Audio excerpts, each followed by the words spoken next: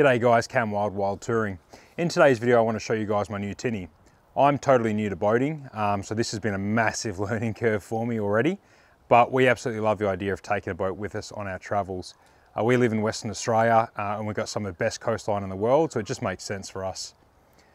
For us traveling as a family, a big trailered boat was just not practical, so I started looking at rooftop tinnies, um, roof toppers, car toppers, whatever you want to call them.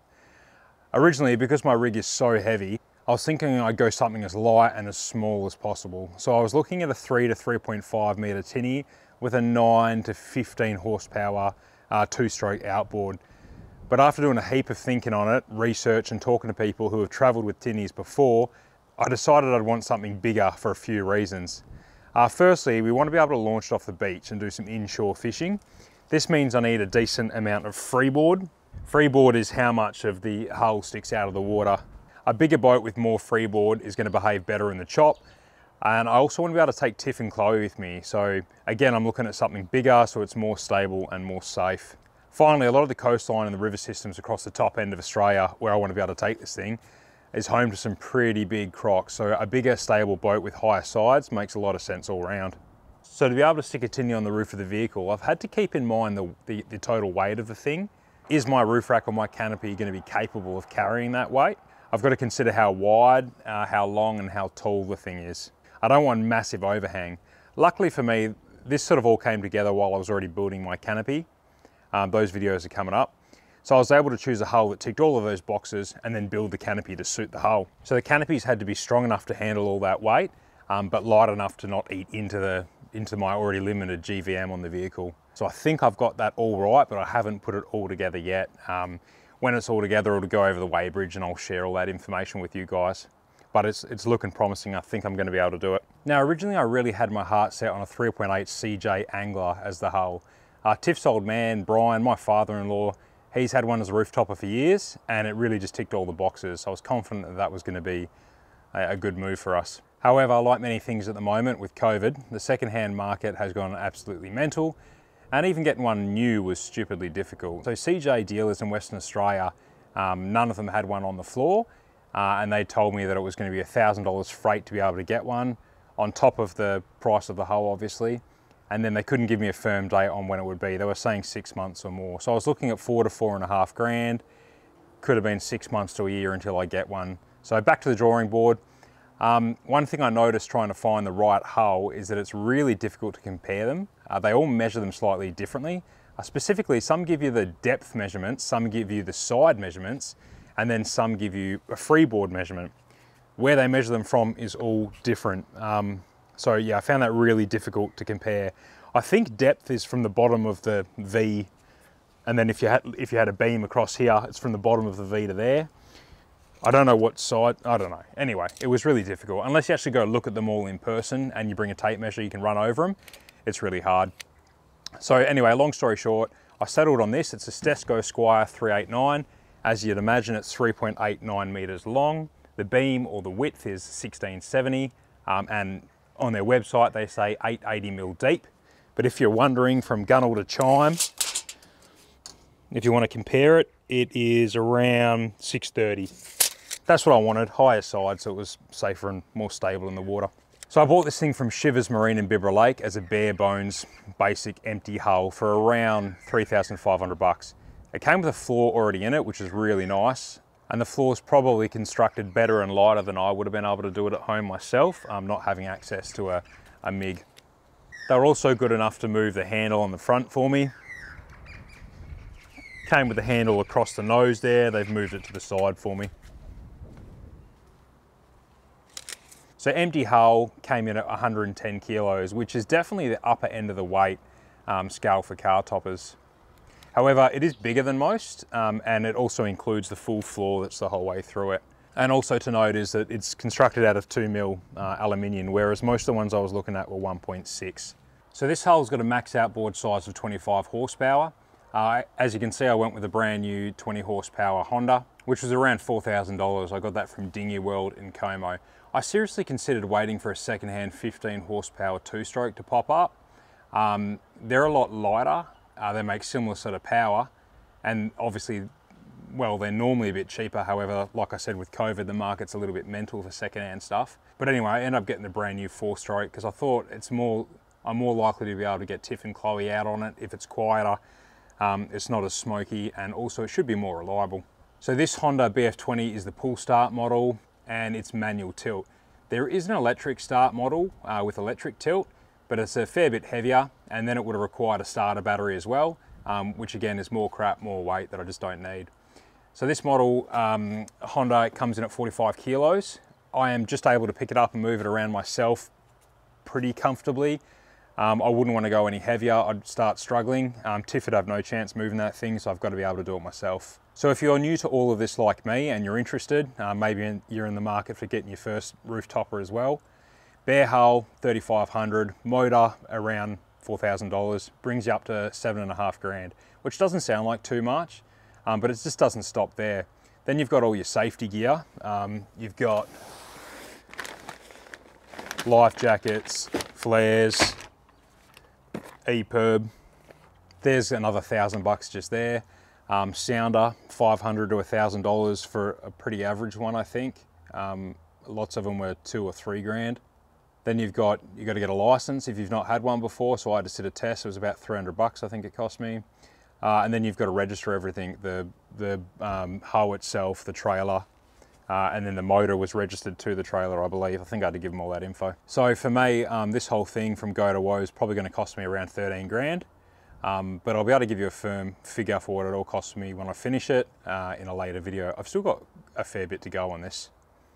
Righto, anyway, on that note, I'll show you what I've done so far. Fitting these rod holders, but before I um, chose what size hole saw to use, I did a couple of test holes just to make sure it fit well, and then I went with the one I was happy with.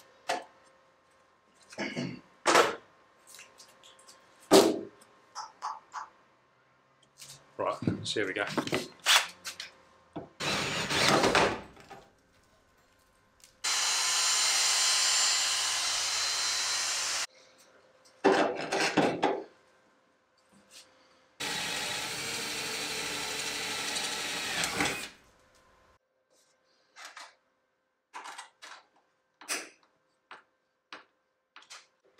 So I'll finish off these rod holders. I'm going to do another two on the front.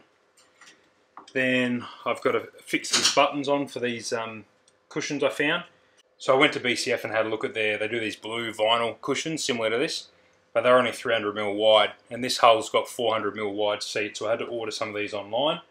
Um, they're by Oceansouth Australia, and yeah, they're 400 mil wide, 1200 mil long, and they've got these pockets. Those mesh ones on the sides are for tinny, so that suits me. So all this will be missing in the end is a kegerator. Maybe. Hmm. This is all, all new to me. I've never had a tinny before, so had to do quite a bit of research about what to buy and I don't want to overcomplicate it, but I want it to be functional and, and useful, everything I do. So another two rod holders in the front, gives me four in total, one in each corner. They're all angled out. Listen, this is my first tinny, so I'm hoping I'm doing this stuff right. So I'll fit these um, seat cover, these seats now. These are um, a vinyl 50mm foam with a vinyl cover. Um, to fix them down, they come with press studs, but they didn't come with the, um, the other end of the stud. So I've had to buy them separately. So I'll fit them now. And um, that shouldn't take too long. So I've just measured evenly off the sides.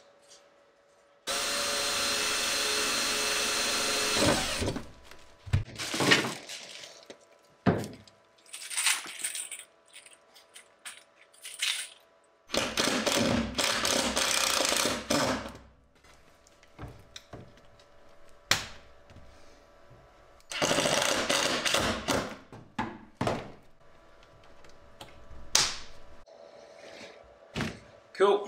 Same on the other side. So this is a ram mount. Uh, it's all cast alloy by the feel of it. I'm going to stick it there. And then I should be able to swivel it in whatever direction depending on where I'm fishing out of the tinny. And I got a seven inch low Lowrance hook, fish finder. Sit on there. That was a, this is a mid-range job, I think it was about 800 bucks. And the ram mount itself was about 150. But I just wanted to, I was originally gonna make something with some alloy bracket and stuff, but I just wanted something easier. Um, I'd rather just spend the money and do it right first time. So let's drill some holes. I just drew on my chair.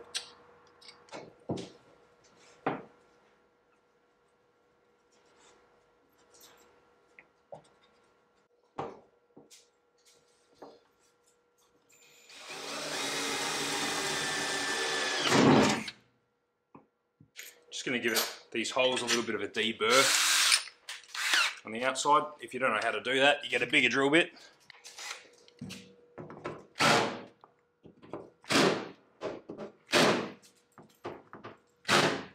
That's all it takes. Just a little smear of silicone around the hole. All the fixings I'm using are stainless steel obviously so it doesn't um, rust or react with the aluminium. And for for the uh, outside, I'm going to have these little round round bolts that I don't catch my hands or anything on the outside. That's the plan.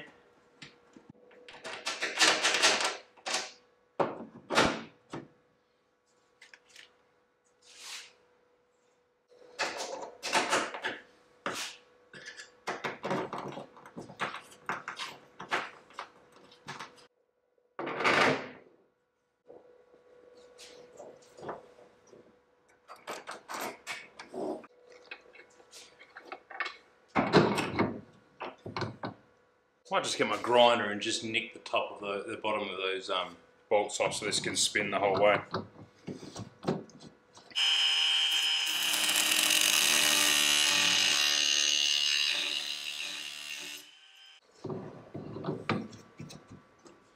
Cool, so something like that while I'm driving I think.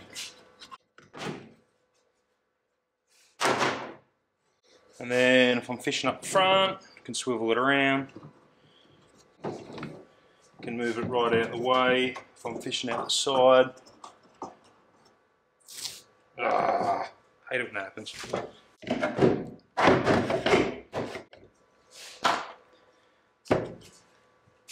Can be looking at fish, grabbing bait, off the side, hooking monsters. So I just need to figure out what I'm going to do with the wiring.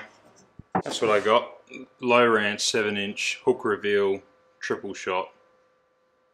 I don't know anything about these, but the BCF dude told me that this is mid-range, best sort of thing at the time for under a grand, so we'll see.